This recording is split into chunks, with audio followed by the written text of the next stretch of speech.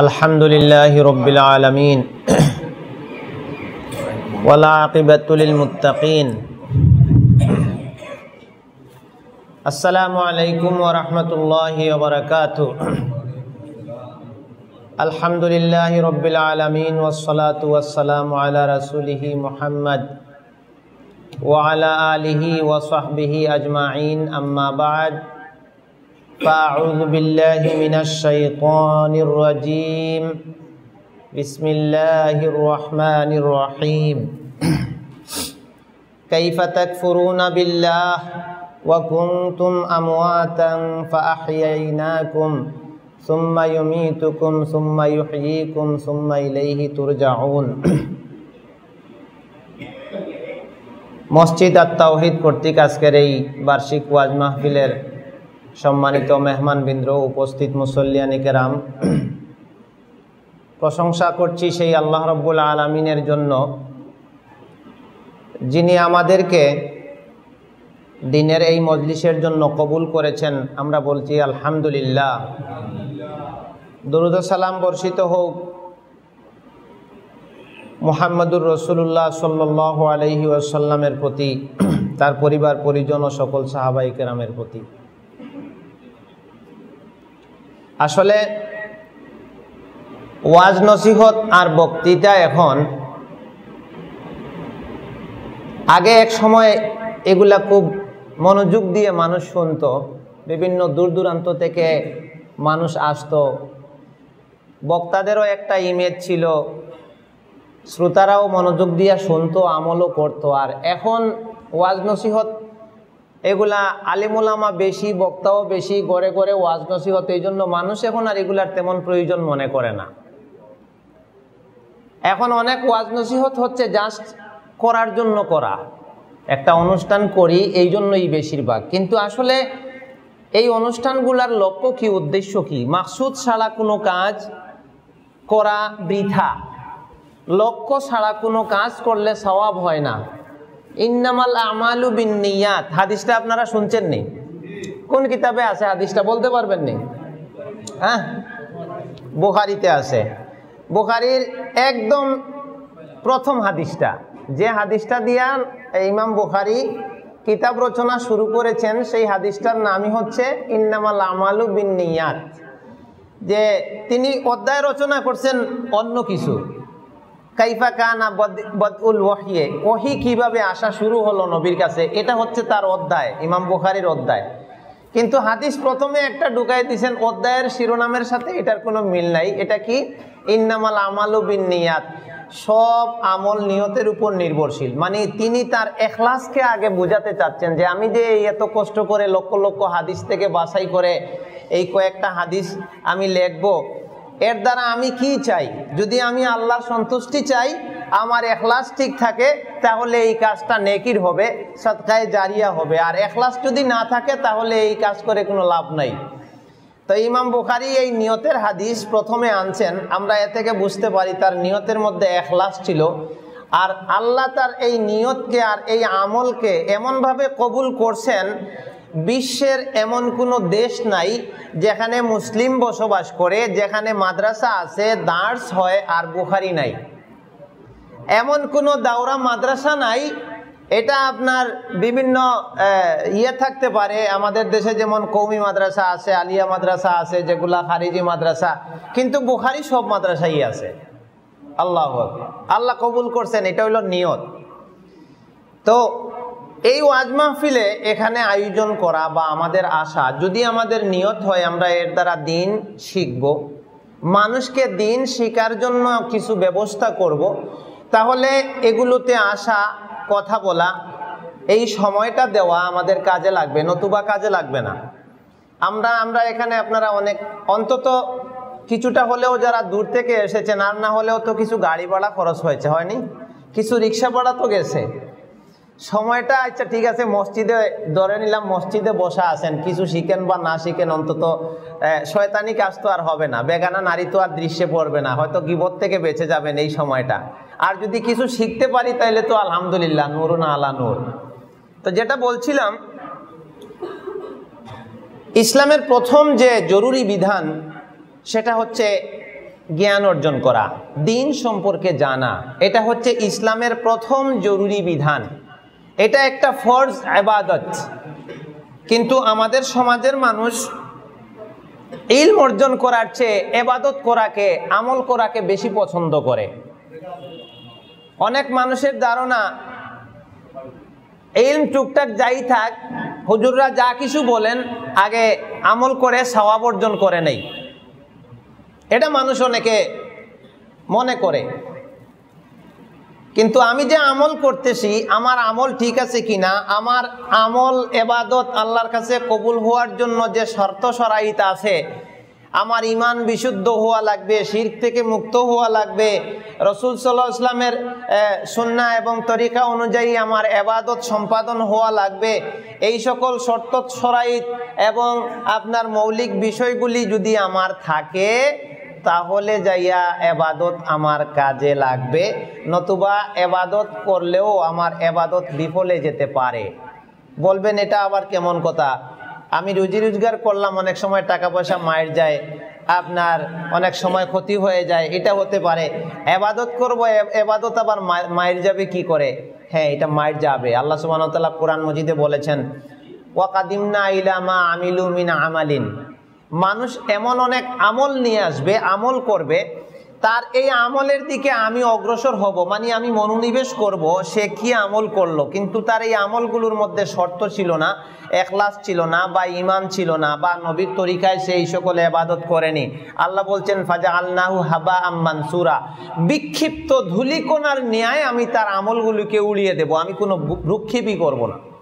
নওয়াজবিল্লা একজন মানুষ সারা সারা ভাদ্র মাস বড়া ক্ষেত করলেন। আগন মাসে আশা করে বসে আছেন, দান পাইবেন, সারা বছরের খাবার হবে। এখন কষ্ট করে ক্ষেত করলেন ভাদ্র মাসে, আগন মাসে জমিনে যায় দেখেন সব ক্ষেত পুকায় খায়া ফেলছে।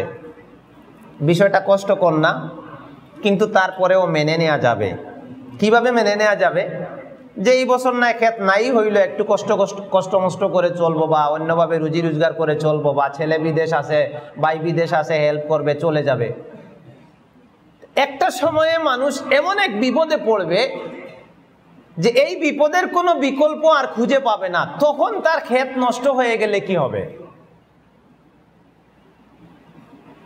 واتقوا يوما لا تجزي نفس عن نفس شيئا ولا يقبل منها شفاعة ولا يؤخذ منها عدل ولا هم ينصرون আল্লাহ বলছেন এমন এক দিনকে তোমরা ভয় করো হে দুনিয়ার মানুষ এমন এক দিনকে ভয় করো মানে কেয়ামতের দিনকে তোমরা ভয় করো লা তাজজি নাফসুন আন নাফসিন এক মানুষ আর এক মানুষের কোনো উপকার করতে পারবে না, কোনো কাজে আসবে না।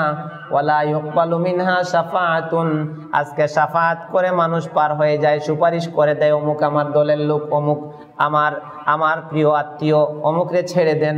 কিন্তু আল্লাহ বলছেন ওলা ইউকাজু মিনহা শাফাআতুন। কোনো সুপারিশ কাজে লাগবে না। ওলা এরপরে বলছেন আদলুন। কোনো বিনিময়ও গ্রহণ করা হবে না। দেখেন আজকে কেউ এক কোটি টাকা খরচ করে একটা বিপদ থেকে সে বেঁচে যেতে পারে। কিন্তু আল্লাহ সুবাহ কোরআন মজিদে বলছেন, ওয়ালাউ আন্না মা ফিল মানে যা কিছু পৃথিবীর মধ্যে আছে, সম্পূর্ণ সম্পদ, ধন সম্পদ, যা কিছু জমিনের মধ্যে আছে, সব দিয়া যদি আল্লাহর আজাব থেকে মানুষ বাঁচতে চায়, মা তুকব্বিলা মিনহুম, গ্রহণ করা হবে না। একটা নেকির জন্য যে আটকা পড়ে যাবে, বিপদে পড়ে যাবে, সারা পৃথিবী ভর্তি এই ধন সম্পদ সব দিয়ে আল্লাহকে যদি বলে, আল্লাহ, সারা দুনিয়ার মালিক আমি ছিলাম, সব সব দিলাম তোমাকে, কিন্তু একটা নেকির জন্য আমি আটকা পড়েছি, এখান থেকে তুমি আমাকে বাছায় দাও। আল্লাহ বলবেন, মা তো কব্বিলা তোমার এই সারা দুনিয়া আমি নেব না, আমার দরকার নাই। আর আজকে আমরা দুনিয়ার সামান্য কিছুর জন্য আমরা দিন বিসর্জন দিয়ে বসেছি। সময়ের কোনো গুরুত্ব দিচ্ছি না, আল্লাহকে ভ্রুক্ষেপই করতেছি না। দিন শিক্ষার কোনো গুরুত্বই আমরা বুঝতেছি না। তো এই জন্য আল্লাহ সুবাহ প্রথমে আমাদেরকে নির্দেশ দিলেন, ইকরা রব্বিকাল্লাজি খালাক। এই শব্দটা দিয়ে কোরআন নাজিল শুরু হয়েছে। অন্তত এটা তো আপনারা আগে জানছেন। জানার কথা না, জানছেন না? এটা বুখারির তিন নম্বর হাদিস, যে কীভাবে ওহি আসা শুরু হলো। তো এখানে একটা লম্বা ঘটনা আছে। তো ওই লম্বা ঘটনার ফাঁকে যে জিব্রাইল আলাইহিসালাম নবী সাল্লা ইসলাম তখন গারে হেরা। এটার মধ্যে তিনি এবাদতে লিপ্ত থাকতেন। যারা মক্কায় গেছেন, এখানে যাওয়া যায়। অনেক উঁচু পাহাড়, ওখানে তিনি এবাদতে লিপ্ত থাকতেন। ইয়াতাখাল্লা, এককভাবে নির্জনে। আর ভাবতেন কি? আল্লাহ, এই মানুষগুলো হন্য হয়ে গেছে। বন্যের মতো হয়ে গেছে, পশুর মতো হয়ে গেছে। তিনি এগুলো দেখে অবাক হয়ে গেছেন যে সমাজের মানুষ এরকম কেন? মারামারি, কাটাকাটি, হানাহানি, এতই নিকৃষ্ট পর্যায়ে চলে গেল যে এক গুত্রে আরেক গুত্রে মারামারি লেগেই আছে। এমনকি আরও মারাত্মক কথা হচ্ছে, তার নিজের সন্তান যদি কন্যা হয়, তাহলে জীবন্ত কবর দিয়ে মাটির মধ্যে গেড়ে ফেলে।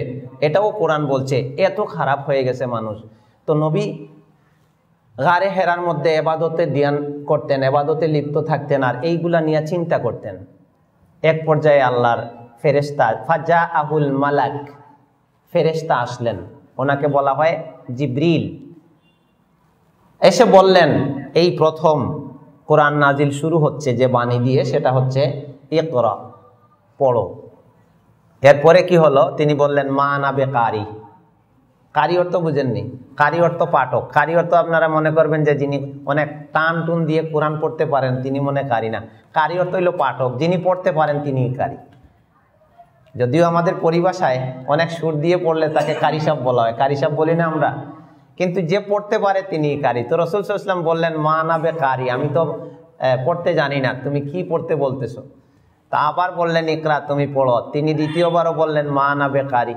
আমি তো পাঠক না, আমি লেখাপড়া পড়া জানি না। এরপরে ফাদম্মা গলার মধ্যে, বুকে দড়িয়ে ফেরেস্তা এইভাবে চাপ দিলেন।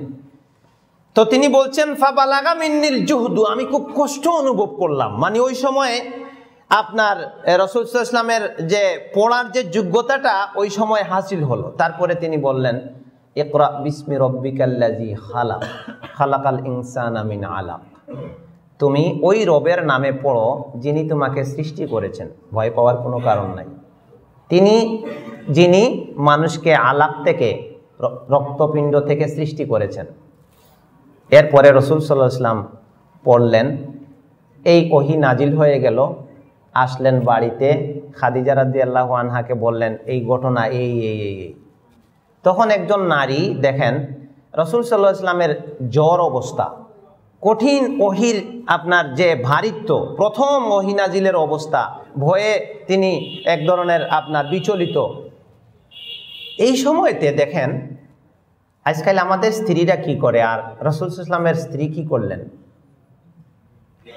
তিনি বললেন, রসুল ইসলাম বললেন, আমার ইন্নি হাসি তো আলা নাফসি, আমার তো ভয় হচ্ছে, আমি কি দেখতে পাচ্ছি, কি ওহি নাজিল হচ্ছে, আমি এগুলা বহন করতে পারব কিনা বা আনকমন কিছুর সম্মুখীন হয়ে গেছে। তখন এই এই নারী বললেন, শোনো, তুমি চিন্তা করো না। আবাদা। আল্লাহ কখনোই তোমাকে লাঞ্ছিত করবেন না। কি বললেন? আল্লাহ কখনো তোমাকে লাঞ্ছিত করবেন না। তিনি বুঝলেন কেমনে যে তার স্বামী সম্পর্কে যে আল্লাহ তাকে লাঞ্ছিত করবেন না। তিনি এরপরে তার স্বামীর কয়েকটা গুণ বর্ণনা করছিলেন। বলতে পারেন কেউ গুণগুলো কি ছিল?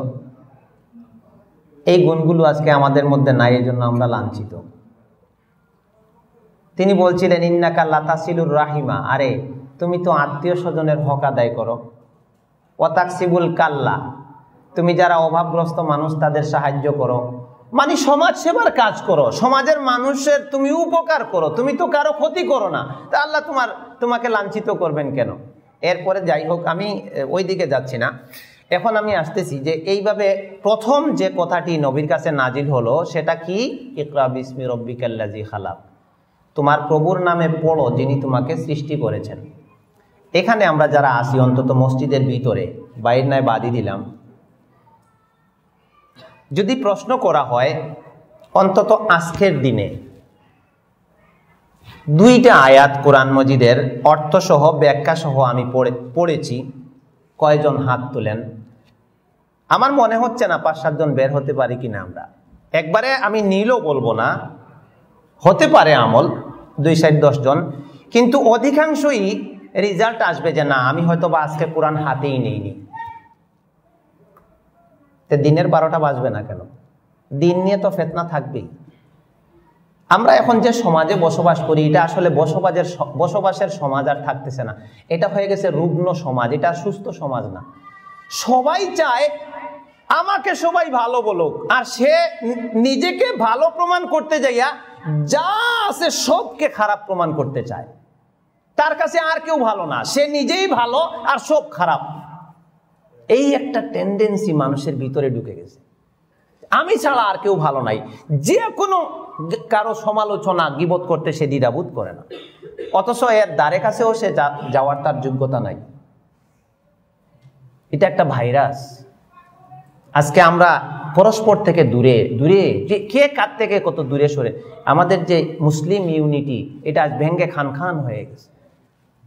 কারণটা কি? আমাদের জবানে একটা ভাইরাস আছে। ওই যে করোনা ভাইরাসের চিন ধ্বংস করে দিচ্ছে আপনারা তো সব দেখতেছেন অনলাইনের মধ্যে। আল্লাহর শাস্তি। আর আমাদেরকে ধ্বংস করে দিচ্ছে, আমাদের পুরা ইসলামিক সমাজটাকে ধ্বংস করে দিচ্ছে জবানের একটা ভাইরাস। খালি একজন আরেকজনের গিবতার সমালোচনা ছাড়া কথা নেই। দেখেন না ইউটিউবগুলো খুললে কি এক অবস্থা।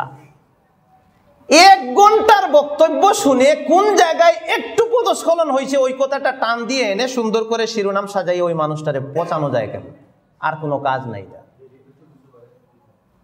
এটা। কেন করে জানেন? এরা এরা ব্যবসা করে এগুলো দিয়া। আর সাধারণ মানুষে এরা বিভ্রান্তির মধ্যে ফেলে দিচ্ছে। এখন মানুষ কার কথা শুনবে, কার দিকে যাবে? যে মানুষটাই আপনার হক কথা বলুক না কেন, তারও একটা দোষ বের করে সমাজে তাকে একবারে পচায় ফেলতেছে। আপনি, আমি যাব কোথায়? এই এই সমাজটা হয়ে গেছে একটা নোংরা সমাজ। এই জন্য এখন করবেনটা কি? রসুল সাল্লাহ আলহি আসাল্লাম বলেছেন যে, আমার এই যুগ ভালো যাচ্ছে, তারপরে আবার মন্দ আসবে। এরপরেও আবার আরও মন্দ আসবে। এরপরে আরও মন্দ আসবে। সাহাবাই কেরাম জিজ্ঞেস বললেন, ইয়া রাসুল আল্লাহ ফামাতা মরুনা এই মন্দ আসতে থাকবে, আমরা মন্দের দিকেই যেতে থাকব। আপনি আমাদেরকে কি পরামর্শ দেন? ফামাতা মরুনা আমরা এই ফেতনার সময় কি করব?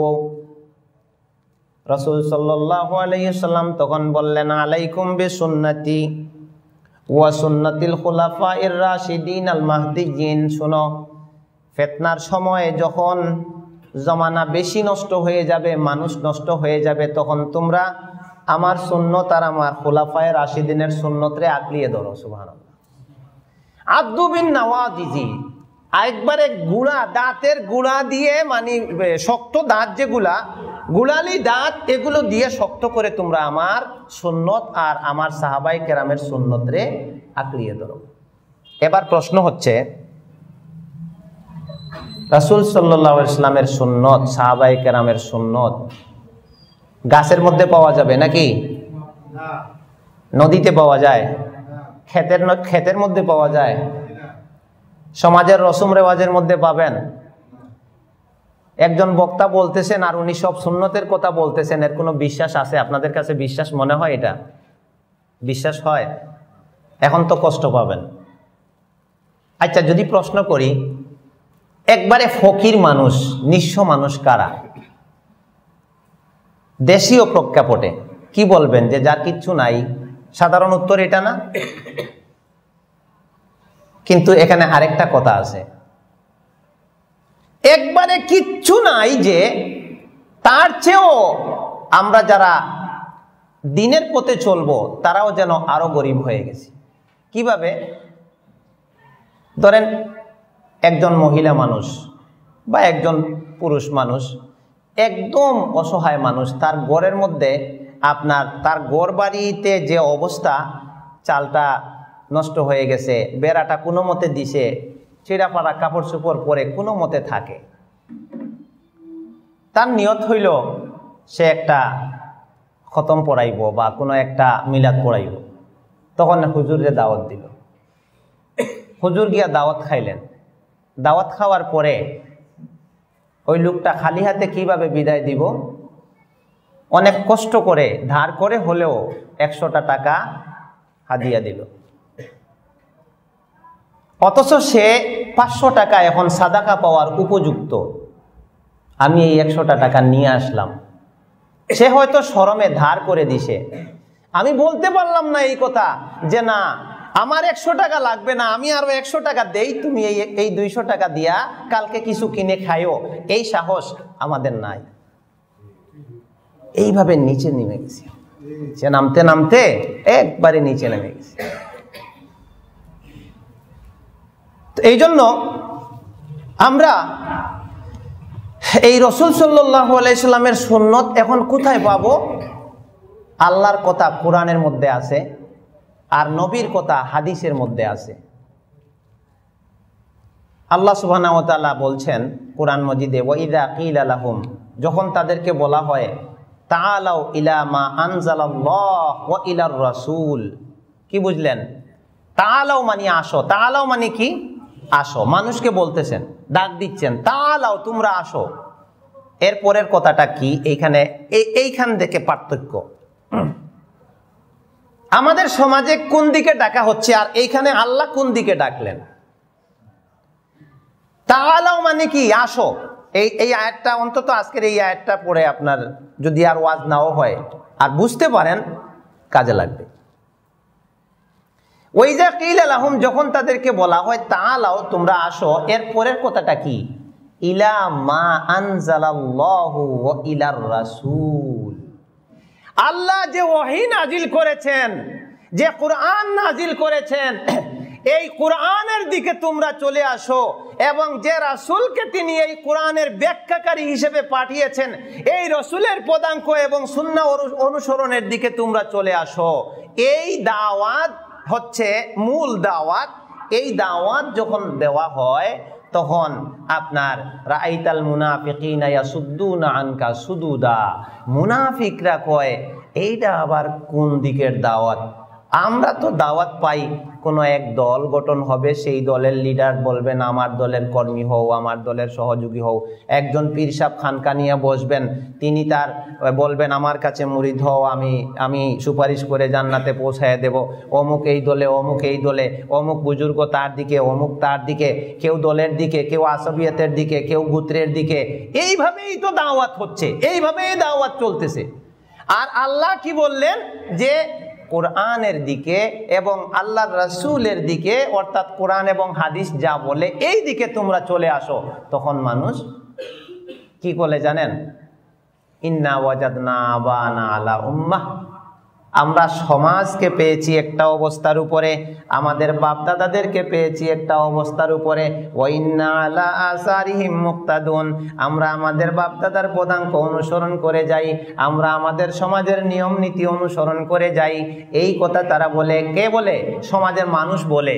তখন আল্লাহ বলেন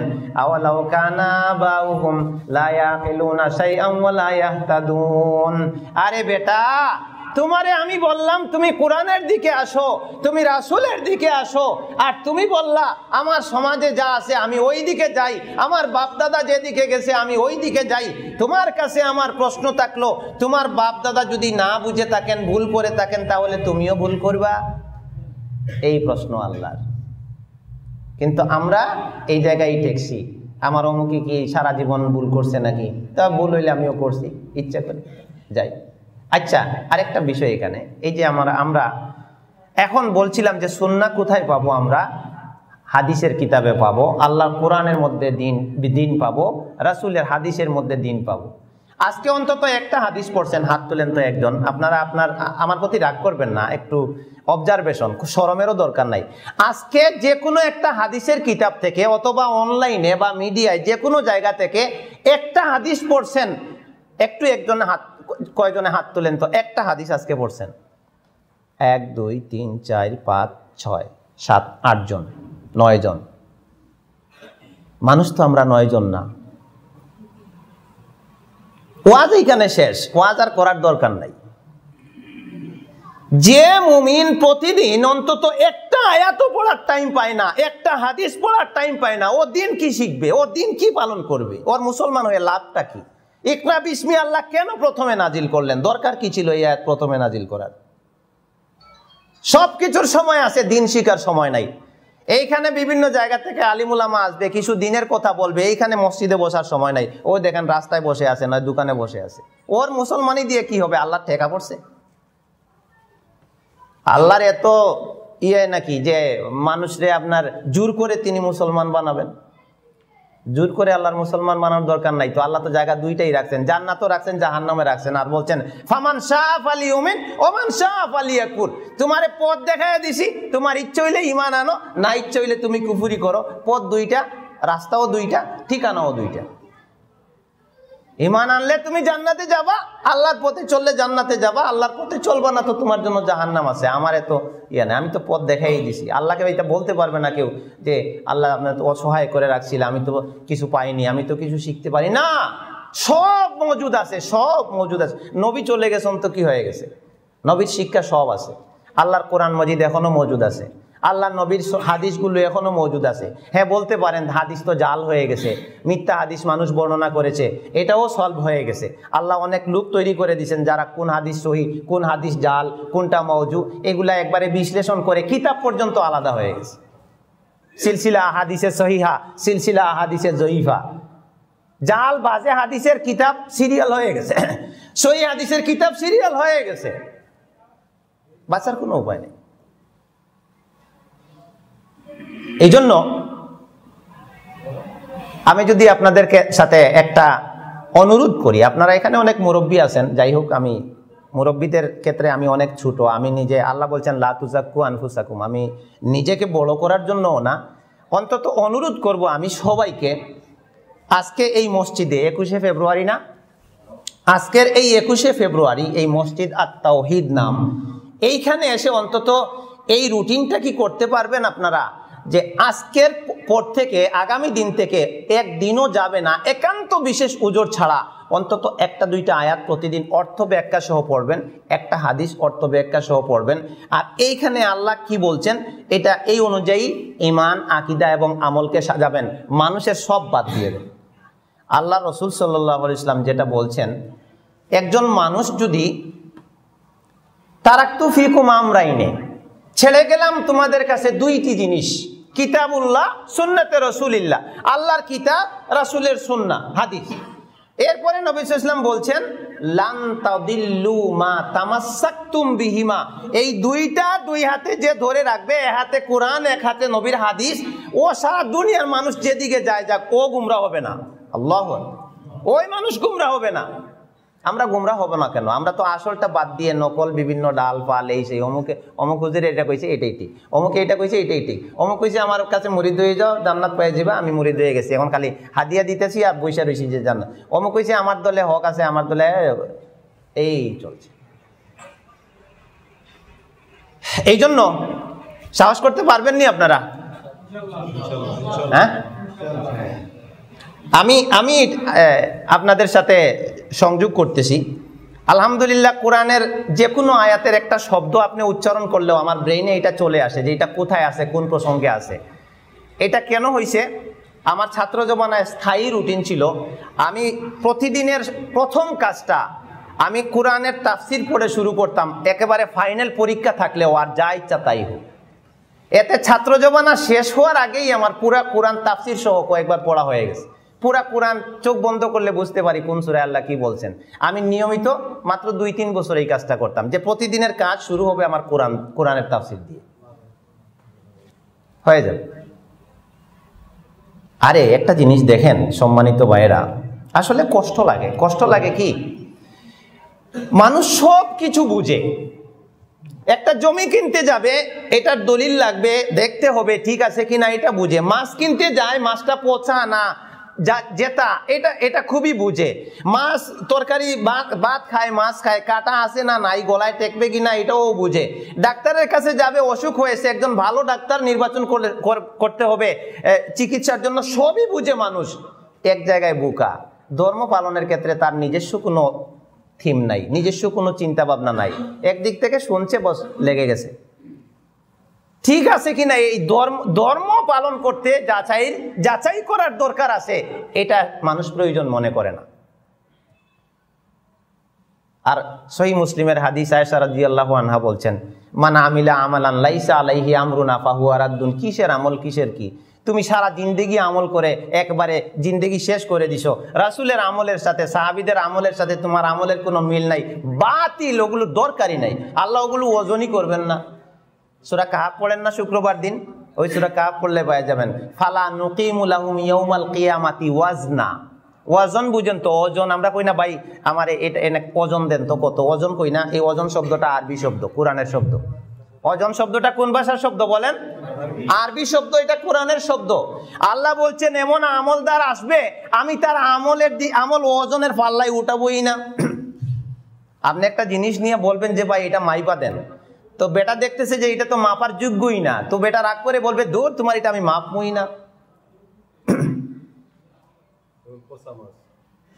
পচা মাছ। পচা জিনিস এটা দিয়ে আর কি। এটার দরদাম চলে নাকি? এটার দরদাম দিয়ে লাভ কি? এটা কত এটা তো এমনিই নেবে না। তো এই জন্য আমি বিনীতভাবে অনুরোধ করব অনেক পয়েন্ট আছে অনেক বিষয় আছে। এই ফেতনার সময়ে আমাদেরকে ওই চলে যেতে হবে তালাও ইলামা আনজালাল্লাহ ইলার রসুল। আল্লাহর দিকে, রাসুলের দিকে। কোরআনটা হাতে নেন, আল্লাহর ওয়াস্তে তাফসির ইবনে কাসির আছে, তাফসির আরও বিভিন্ন ধরনের তাফসির আছে, আহসানুল বয়ান আছে, আবু বকর জাকারিয়ার কোরআনুল করিম আছে, আয়াতের অনুবাদ আছে, নিচে ব্যাখ্যাটা দেওয়া আছে। একটা তাফসির নেন, তারপরে ওই যে আরেকটা তাফসির ফাথুল মাজিদ, শহীদুল্লাহ খান সাহেবের নতুন বের হয়েছে। এই ধরনের আয়াতটা পড়েন, অনুবাদটা পড়েন। নিচের টিকা টিপ্পনি থেকে কিছু ব্যাখ্যা দেখে নিজের করণীয় কি? এই আয়াতটাতে আল্লাহ আমাকে কি আদেশ করলেন, কি নিষেধ করলেন, কি শিক্ষা দিলেন, এই জায়গায় হাত না দেওয়া পর্যন্ত এখন বাঁচার কোনো উপায় নেই। এখন একজন মানুষকে আপনি ভালো পাবেন না। আপনি যত, আমি যত সুন্দর সুন্দর বক্তৃতা দেবো ওখানে আরেকজনে গিয়া কইব, এই যে এই ভুল করছে, এই ভুল করছে, এই ভুল করছে। মানে আমাকে একদম পাঁচ মিনিটে পচায় ফেলবে। এখন তো আপনারা মনে করবেন যে আসলেও তো ভুল ভুল বলছে। আমি যদিও সারাক্ষণ কোরআনের অনুবাদ করে যাই হেরফের নাও করি সমাজটা এরকম হয়ে গেছে। সমাজটা এরকম হয়ে গেছে। এরপরে দায়িত্ব হচ্ছে আমাদের ওই যে বলছিলাম কাইফাতাক ফুরুন আবিল্লাহ অকুন্তুম আমোয়াতান আল্লাহ বলছেন, বান্দা, তুমি কীভাবে আমাকে আমাকে অস্বীকার করবা বলো? কাইফাতাক ফুরুন আবিল্লাহ কীভাবে তুমি আল্লাহকে অস্বীকার করবে? অকুন্তুম আমোয়াতা তুমি তো ছিলে মরা। আমরা কি ছিলাম?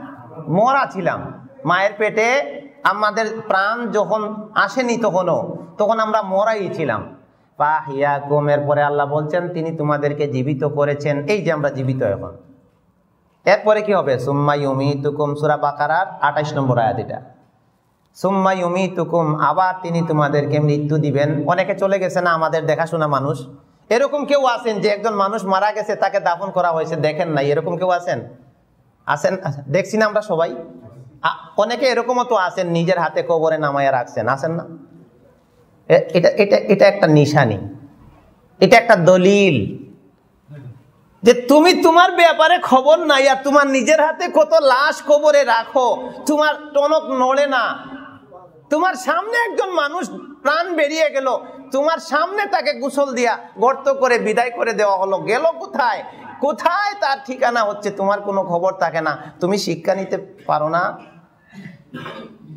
একজন মানুষের মৃত্যু থেকে শিক্ষা নিলেই একজন মানুষ জীবনে হেদায়ত হয়ে যাবে। আর কি দরকার? আয় হায় রে, আমি কই যাব? আমার প্রাণটা বেরিয়ে গেলে আমি কি? এখন তো আমি অনেক কিছু, অনেক বড় কিছু, অনেক বড় মন্ত্রী, অনেক বড় এমপি। আমার কথায় মানুষ চলে, আমার অর্ডারে দেশ চলে, আমার অর্ডারে সব হয়ে যায়। প্রাণটা বেরিয়ে গেলে তুমি কার অর্ডারে তোমার অর্ডারে কি চলবো? লিমানিল মুলকুল লিল্লাহিল ওয়াহিদিল কাহার। কত রাজা বাদশাহ আল্লাহর সামনে হাসরের ময়দানে যাবে। আল্লাহ বলবেন, আজকের বাদশাহী কার? তোমরা তো দুনিয়াতে বড় বাদশাহী করে করে নিজের বাহাদুরি দেখাই আসছো, যা ইচ্ছা তা করছ, মানুষরে মারছো, কাটছো, দেশ দখল করছ, মানুষের উপরে জুলুম করছ। আজকে দেখি কার কি ক্ষমতা? তখন একটা পিঁপড়ার একটা মাসিরও ক্ষমতা অনেক রাজা বাদশাহ দেখাইতে পারবে না। একটা মাসি যে ক্ষমতা এখন দেখাইতে পারে, অনেক রাজা বাচ্চা এই ক্ষমতাটাও কি করতে পারবে না? দেখাইতে পারবে না। এই জন্য এরপরে কি হবে? আমরা মরা ছিলাম। আল্লাহ বলছেন, তোমরা মরা ছিলে। তারপর তিনি তোমাদেরকে জীবিত করছেন। এই যে আমরা জীবিত। এরপরে আবার তিনি আমাদেরকে ফাহিয়াকুম মৃত্যু দি, সুম্মা ইউমিতুকুম, আবার মৃত্যু দিবেন। সুম্মা আহিয়াকুম, এরপরে আবার জীবিত করবেন। এই জীবিতর পরে কি? এবার দুনিয়াতে কি করছ? হিসাব দাও। কি করলা? সময়টা কোথায় খাটাইলা এবার আমাকে পাই টু পাই বুঝাইয়া দাও, তারপরে তুমি কদম নাড়াবা। পাঁচটায় শুনছেন না হাদিসটা? লাইয়াজালু কাদামা আবদিন হাত্তা ইউস আলান খামসিন। পাঁচটা প্রশ্নের উত্তর না দিয়া পাও নাড়ানোর কোনো সুযোগ নাই। জীবন কোথায় কাটিয়েছ? যৌবনকাল কোথায় কাটিয়েছ? এখানে জীবনে, জীবনের ভিতরে যৌবন আছে না? তাহলে আবার দ্বিতীয়বার যৌবন কেন? প্রশ্ন জাগছে কোনো দিন আল্লাহ তো এক প্রশ্ন করলে হয়ে যায়, তোমার জীবনটা কোথায় কাটাইছো? শয়তানের কাজে কাটাইছো না? আমার বন্দেগিতে কাটাইছো? এখানে তো যৌবন আছে না। ওয়ান স্বাভাবিকই যৌবন কালটা আলাদা প্রশ্ন, কারণটা কি? যৌবনে ক্ষমতা থাকে তো, যা ইচ্ছা তা করা যায়। বুড়ো হয়ে গেলে তো অনেক সময় ইচ্ছা করলে নামাজে যাওয়া যায় না, লাঠি একটা বোর্ড দিয়ে দিয়ে দিয়ে যাওয়া যায়, কিছু করার ক্ষমতা থাকে না। শক্তি হারিয়ে যায় মানুষ। এই জন্য যৌবনকালের বিশেষ স্পেশাল প্রশ্ন থাকবে, মাল কেমনে কামাইলা, কেমনে খরচ করলা, ইলিম কি শিখলা, কি আমল করলা? আগে জবাব দাও, তারপরে পাও নাড়াইতে পারব। এই জন্য আমরা একটা জিনিস মনে রাখবেন, আমরা জানি আলোর গতি প্রতি সেকেন্ডে কত, বলতে পারেন না? অনেকে বলেন এক লক্ষ ছিয়াশি ছিয়াশি হাজার মাইল। আলোর গতি, এত দ্রুত গতিতে আলো আপনার বিচ্ছুরিত হয়। মানুষ তার মৃত্যুর দিকে কবরের দিকে এর চেয়ে বেশি দ্রুত বেগে অগ্রসর হয় মানুষ নিজে বুঝতে পারে না। আলো আলোর গতি যত বেশি, মানুষ তার পরিণামের দিকে, কবরের দিকে, মৃত্যুর দিকে যে গতিতে দৌড়ায়, এটার গতি আরও বেশি। কিন্তু আমরা সময়গুলোর এখন নষ্ট করে দিচ্ছি। আল্লাহ তো নিশানি দেখাচ্ছেন আমাদেরকে। বর্তমান বিশ্বের অবস্থা পর্যবেক্ষণ করলে শুধু কিয়ামতের নিশানি ছাড়া আর কিছু দেখতে পাওয়া যাচ্ছে না। কোন মুহূর্তে যে আল্লাহ কোন জায়গাকে, কোন এলাকাকে কীভাবে ধ্বংস করে দেন, এটা বলা বড় মুশকিল। কারণ মানুষকে আল্লাহ একটা সময় পর্যন্ত ডিল দেন। একটা সময় পর্যন্ত কি দেন? ঢিল দেন, সুযোগ দেন। কিন্তু যখন এই সুযোগটা পার হয়ে যায়, বান্দা হুশ হয় না, আল্লাহর আনুগত্য করে না, আল্লাহকে চিনে না, তখন এমন পলিসি আল্লাহ ব্যবহার করেন যে পলিসির কাছে তার সব ক্ষমতা শেষ। কোনো ক্ষমতা কোনো কাজে লাগে না। আজকে চীনের ক্ষমতা কি কম ছিল? চীনের বিশ্ববাজারে এমন আপনার মার্কেট তৈরি করছে, সারা বিশ্বে তার ব্যবসা আছে। টাকার অভাব নাই, কোনো কিছুর অভাব নাই, অস্ত্রের অভাব নাই। আর আল্লাহ এমন একটা জীবাণু দিয়ে দিচ্ছেন যেটা দেখতে অস্ত্র লাগে। এই জীবাণুর মোকাবেলা করার তার ক্ষমতা নাই হে একটা নিশানি। পৃথিবীর মানুষকে আল্লাহ দেখাচ্ছেন? যে দেখো, মানুষ বলতে পারে অনেকে অনেক কারণ বিশ্লেষণ করা হচ্ছে যে এরা ইঁদুর খায়, সাপ খায়, কুকুর খায়, শুকর খায়, বিভিন্ন খাবার থেকে ভাইরাস হয় মেবি হতে পারে। কিন্তু রিয়াল কারণ যদি খুঁজতে যান, সেটা হচ্ছে আল্লাহর ধরা, তিনি যখন ধরেন তখন ছাড়েন ওইগুর মুসলমানদেরকে বের হতে দিত না। এক জায়গায় বন্দি করে রাখত। আল্লাহ কয়, দেখ তোরারে আমি এমনি বিনা রশিতেই বন্দি করে রাখব। এখন এমন বন্দি হইছে, এক এলাকার থেকে আরেক এলাকায় যায় না। তারপরে আরেকটা অবাক করা কাণ্ড দেখবেন, কোরআনের সাথে মিলে। ওই যে বলছিলাম যে, অন্তত দুইটা এক করে কোরআন পড়বেন, এটারে লাজিম করে নেন। নাইলে আত্মতৃপ্তিও পাবেন না, সমাজে কে ভুল, কে শুদ্ধ, এটাও বুঝতে পারবেন না। সুরা আবাসার মধ্যে শেষের দিকে গেলে পাবেন মার আহিহি ও উম্মিহি ও আবিহি ও বুঝছেন কিছু? আল্লাহ এখানে হাসরের ময়দানের কথা বলছেন। কিসের কথা বলছেন? হাসরের ময়দানের কথা। কি বললেন? যে একটা দিন আসবে, এই কিয়ামতের দিনটার অবস্থা এমন হবে যে মানুষ তার ভাই থেকে পালাবে, মা থেকে পালাবে, বাপ থেকে পালাবে। স্ত্রী থেকে পালাবে, শয়তান থেকেও সন্তান থেকেও পালায় যাবে। পালাবে মানে কি? বাবার কাছে যাবে না। আয় যদি বাবা নেকি চাইয়া বসে, মার কাছে যাবে না। মা কত আদরের। দুনিয়া সব দিছে। মা তোমার কি লাগবো? বিদেশে আছে। ফোন করে, মা তোমার কিছু লাগবো নি? টাকা পাঠামুনি খোঁজ খবর নেয় মা। হাসরের ময়দানে মা বিপদে পড়ে আছে। সন্তানটা দেখবে মা বিপদে পড়ে আছে। কিন্তু সে কাছে যাইতে চাইবে না যে মার নেকির দরকার যদি আমি আমার থেকে নেকি নিয়ে নেয় আমি তো বিপদে পড়ে যাব। যাইতে চাইবে না। এই এই ঘটনাটা ঘটবে হাসরের ময়দানে কিন্তু আল্লাহ এখন কীভাবে মানুষকে দেখাচ্ছেন জানেন? যে যারা ভাইরাসে আক্রান্ত হয় সন্তান খাবার নিয়ে যায় অনেক দূরত্বে খাবারটা রেখে চলে আসে ইশারা দিয়ে বলে দেয় যে নিয়ে যাও। মার কাছে যায় না বাবার কাছে যায় না যদি সে ভাইরাসে আক্রান্ত হয়ে যায়। তার মানে হচ্ছে তুমি মরলেও মরে যাও, আমি যে কয়দিন বাঁচার বেছে নেই। এইখানে মা বাপ আর কিছু তার কাছে থাকতেছে না। মা বাপ মরে মরে যাক, আমি যে কয়দিন বাঁচার বেছে নেই। নমুনাটা দেখেন দুনিয়াতে আল্লাহ কি দেখাচ্ছেন নদীর। চিন্তা করছেন কোনোদিন? গটবে হাসরের ময়দানে আল্লাহ বলছেন দরে নাম দরে দরে আহি হিয়া কোন তো ভাই। আরবি তো অনেকে কিছু না কিছু তো জানেন। ইয়াউমা সেদিন ইয়াফিররু পালাইয়া যাবে। আজকে ডিকশনারি দেখবেন, ফাররা ইয়াফিররু মানে পলায়ন করা। এক জায়গা থেকে দৌড়িয়া ভাগা। তো ইয়াফিররু মানে মানুষ ভাগবে মিনাহিহি প্রথমেই বলছেন ভাই থেকে। বিপদের সবচেয়ে কাছে থাকে ভাই। কারণ বাপ মা একসময় বুড়া হয়ে যায়, ভাইটা সিমিলার হয়। দুই চার বছরের ডিফারেন্স থাকে, কিন্তু ভাইকে বেশি সময় পাওয়া যায়। কি করছি বুঝছেন? এই জন্য সহযোগিতার অর্থে আল্লাহ সুবান সিরিয়াল মেনটেন করার করতে সর্বপ্রথম ভাইয়ের কথা উল্লেখ করেছেন। কারণ ভাইকে লং টাইম কাছে পাওয়া যায়। বাপ মা অনেক সময় বৃদ্ধ হইয়া মারা যায়। অনেকে আছেন এখানে বাপ মা হারাইছেন, কিন্তু ভাই বেঁচে আছে আছে না? অনেকের মা হারাইছেন, বাপ আছেন বা অনেকের বাপ হারাইছেন, মা আছেন, কিন্তু ভাই আছে। এই জন্য প্রথমে আল্লাহ ভাইয়ের কথা বলছেন মিনাকি এরপরে বলছেন, ও মিহি তার আদরের জিনিস সবচেয়ে কাছের জিনিস মা। মা থেকে পালায় যাবে। প্রথমে বললেন, ভাই থেকে পালায় যাবে। পরে বললেন, মা থেকে পালায় যাবে। ও মিহি ও আকিহি। ও মিহি ও আবিহি। এরপরে তিন নম্বরে যা বলছেন, বাবার কথা। বাবার থেকে পালায় যাবে। এরপরে বলছেন, স্ত্রীর কথা। এরপরে সন্তানের কথা। এই এই অবস্থায় আমাদের কি করণীয়? আমরা, আমাদের কিছু শিকার নাই। এক জায়গায় একটা মহামারী দেখা দিলে আরেক জায়গায় যে নিরাপদ থাকবে কোনো গ্যারান্টি আছে? গ্যারান্টি নেই। তাহলে কি করা লাগবে? তৌবা করা লাগবে। ইস্তেকফার করে আল্লাহর আনুগত্যের দিকে আসা লাগবে। সোরা সোয়ারার শুরুতে একটা মজার আয়াত আল্লাহ সুবাহতাল্লাহ বলছেন যে, দুনিয়ার মানুষ দেখো, আমি তো সব সময় দেখাই না, নজির দেখাই না। আমার কাছে এমন নিদর্শন আছে, যদি আমি এটা প্রকাশ করে দেই কুহুম লাহা তোমরা আমার আমার সামনে এইভাবে মাথা নত করে দিবে। আল্লাহ তোমার নাফরমানি আর করব না। এইভাবে মাথা নত করে দিবা এমন নজির, এমন ক্ষমতা আল্লাহর আছে।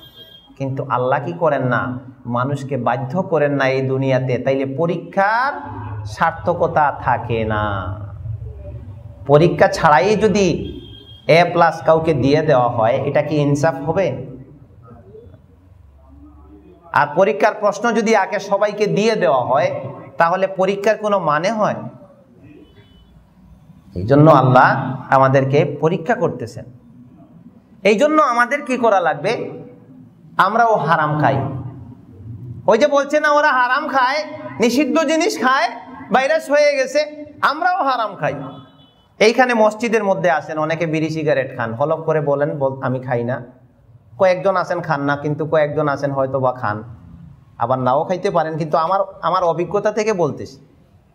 আশপাশে দেখবেন যে এমন কোনো দোকান পাবেন না বুসিমালের এমনে এমনে যে বিড়ি বেছে না, সিগারেট বেছে না।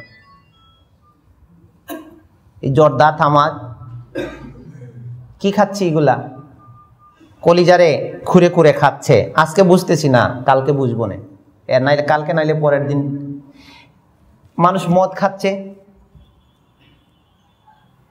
যে কোনো অন্যায় আল্লাহর নিষিদ্ধ, আল্লাহর সীমা অতিক্রম করে বান্দা যেটাই করবে, তার একটা ফলাফল, একটা পানিশমেন্ট তার হওয়াই লাগবে। হওয়াই লাগবে। আল্লাহর বিধানগুলি কত বিজ্ঞানসম্মত, রাসুলের বিধান কত বিজ্ঞানসম্মত? এক ডাক্তার, অমুসলিম ডাক্তার, এক মসজিদের পাশ দিয়ে যাচ্ছে। দেখে মুসলিমরা অজু করতেছে খুব সুন্দর করে, নামাজ পড়ার জন্য হাত দয় মুখ দয় পা দয় মাথা মাসে করে। ডাক্তার আশ্চর্য হয়ে জিজ্ঞেস করলে মানে থেমে গেল যে এটা কি এটা কি এটা কি? যে এটা হচ্ছে মুসলিমদের অজু। কি? মানে তারা সালাত আদায় করার সময় এই অজুটা করে। তো সে মন্তব্য করল যে মানুষের যে চামড়া আছে, এই চামড়ার ভিতরে আরও ষাটটি আবরণ আছে। এটা আমরা অনেক সময় এইভাবে বুঝতে পারি না, এটা যন্ত্র দিয়ে আবিষ্কার করতে হয়। এই হাতের মধ্যে, চেহারার মধ্যে যে জায়গাগুলি খোলা থাকে, প্রচুর জীবাণু এগুলো আক্রান্ত হয়। এই যে ধুলাবালি ময়লার সাথে আপনার নাকে ব্যাকটেরিয়া এই যে নাক দিয়ে আমরা শ্বাস নেই, এই নাকের মধ্যে আল্লাহ একটা, এখানে কিছু চুল আছে দেখবেন নাকের ভিতরে। আপনি, আমি বলি নাই যে আল্লাহ, আমি নাক দিয়ে শ্বাস নিব, ধুলা আটকানোর জন্য কিছু চুল দিও, আল্লাহ এমনি দিয়ে দিচ্ছেন আল্লাহ এর নাম হচ্ছে রব। এর নাম কি? রব। বান্দার যখন যেটা ইচ্ছা চাওয়ার আগে দিয়ে দেন। আমরা যখন মায়ের ঘর থেকে জন্ম নিয়েছিলাম, আপনি যখন জন্ম নিয়েছিলেন, আপনার দাঁত ছিল? কারও দাঁত ছিল? দাঁত ছিল না। কারণ ওই দিন জন্ম নেওয়ার পরে দাঁতের দরকার হয়নি, তাই আল্লাহ দেননি। তখন খাবারের দরকার হয়েছিল, কিন্তু খাবারটা খাইছি, চুষে চুষে, মায়ের বুকের দুধ খাইছি। ছয় মাস, সাত মাস, দাঁতের দরকার হয় যখন একটু বড় হয়ে গেছি, চাবানোর খাবার খাওয়া লাগবে, চাবাইতে হবে। তখন আল্লাহ এবার আস্তে আস্তে দাঁতরে হুকুম করছেন যে গজাও, এবার আস্তে আস্তে গজাইছে। আচ্ছা বলেন তো, এখানে আমরা কে আছি? যে ছয় সাত মাস হওয়ার পরে আল্লাহকে দরখাস্ত করছি। হে আল্লাহ, তুমি আমাকে জন্ম দিয়েছ, ভালো কথা। আমার প্রথমে দাঁত ছিল না, দুধ টেনে টেনে খাইছি, এখন আমার বয়স সাত মাস, এক বছর হয়ে যাচ্ছে, আমার চিবানো লাগবে, এবার আমাকে দাঁত দাও। এই তোমার কাছে অ্যাপ্লিকেশন করলাম। কেউ দরখাস্ত লিখছিলেন? লেখার আগে দিয়ে দিছেন, এর নাম হচ্ছেন রব। আলহামদুলিল্লাহি রব্বিল আলমিন, জগতের প্রতিপালক। রব হচ্ছেন তিনি, যিনি তার গোটা সৃষ্টির চাহিদাকে চাওয়ার আগে পূর্ণ করে দেন সুহান কিন্তু আমরা তারে ডাকতে জানি না। তিনি হচ্ছেন আল্লাহ সুবাহ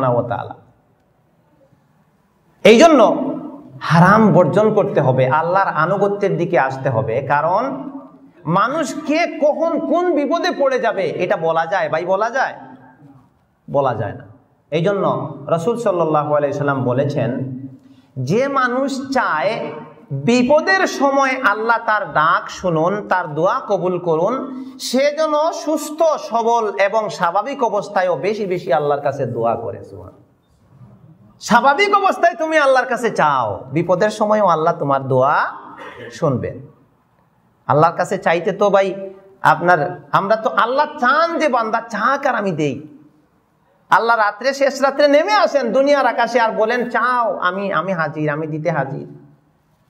আজকে আমরা মন্ত্রী, এমপি, এদের থেকে বা বিভিন্ন ধরনের মানুষ থেকে একটা কাজ করানোর জন্য কত লবিং করতে হয়, এরে ধরতে হয়, এরে ধরতে হয়, এই চেয়ারম্যান ধরতে হয় মেম্বার ধরতে হয়, তারপরে যাইয়া এক মাস ঘুরতে ঘুরতে কাজ একটা হয় না।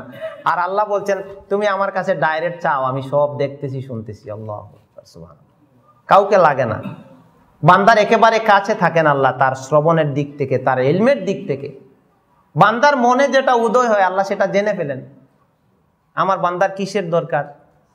কিন্তু আমরা আল্লানুরাগী হতে পারিনি। আমাদের কাজ হয়েছে কে কারে বাস দিবে, কে কারে দুর্নাম করবে, কে কারে ঠেকাবে, এইগুলো নিয়ে আর কামাই রুজি, রোজগারের দান্দা বাল বাচ্চা লালন পালন, এর মধ্যেই চলে যাচ্ছে। ফরজ সালাতেরও টাইম পাই না। ফরজ সালাতের টাইম সবার হয়। হয় না? হয় না। মুসলমান নামে মুসলমান, ফরজ সালাতের তার টাইম নাই।